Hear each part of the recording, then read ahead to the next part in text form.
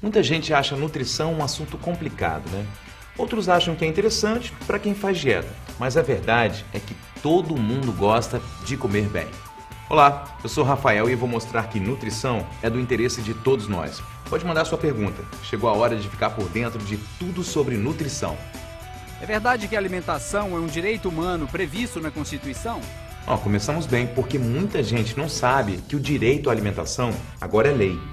Mas eu não estou falando de qualquer alimentação, não. Tem que ser uma alimentação adequada, sustentável, que atenda às suas necessidades, que tenha produtos agrícolas, de preferência produzidos na sua região. Tem que ter uma relação com a cultura alimentar do lugar onde você vive. A alimentação agora faz parte do artigo 6 da Constituição, ou seja, é um dos direitos fundamentais do brasileiro. Muito bem, para você ter acesso a uma alimentação adequada, é importante que você fale com quem entende do assunto.